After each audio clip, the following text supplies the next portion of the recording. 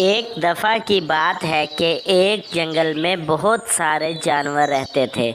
उनका आपस में बहुत ही अच्छा व्यवहार था और वो एक दूसरे का बहुत ज़्यादा ख्याल रखते थे। उन जानवरों में एक भेड़ बहुत ही ज़्यादा शरारती थी। उसको अपने दोस्तों को तंग करने में बड़ा मज़ा आता था। उस जंगल में एक शेर रहा करता था। जो कि बहुत ही ज़्यादा खूंखार था और सभी जानवर उसी शेर के डर से एक ही जगह पर सब मिलकर रहते थे। तभी वो भेड़ एक शरारत करने लगती है और ज़ोर ज़ोर से चिल्लाने लगती है। अरे, बचाओ बचाओ, शेर मुझे खा जाएगा, बचाओ बचाओ।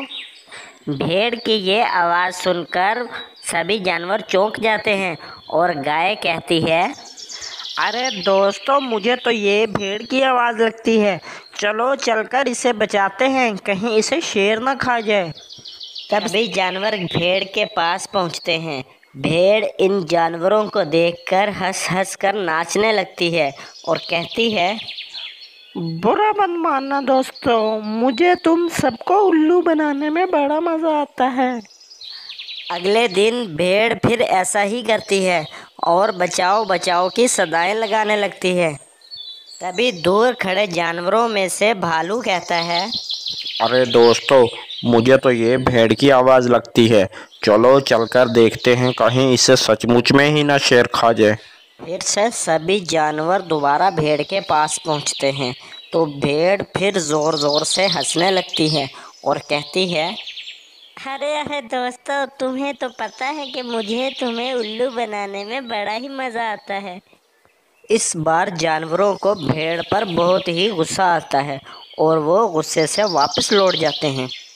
फिर एक दिन भेड़ जंगल में घास खा रही थी कि सामने से अचानक सचमुच में शेर आ जाता है और भेड़ परेशान होकर फिर से बचाव बचाओ के सदाएँ लगाने लगती है।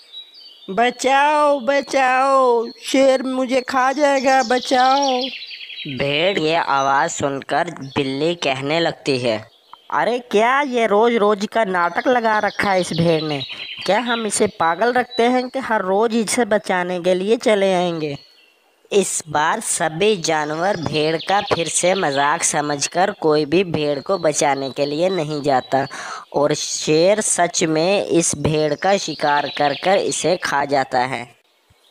तो बच्चों, इस कहानी से हमें क्या शिक्षा मिलती है? यही कि हमें किसी भी हालत में झूठ नहीं बोलना चाहिए, वरना दूसरों का हम पर से विश्वास उठ जाता है। वीडियो को लाइक करें और चैनल को सब्सक्राइब करें और घंटी के निशान को दबाएँ ताकि मेरी हर नई आने वाली वीडियो की नोटिफिकेशन आपको सबसे पहले मिले।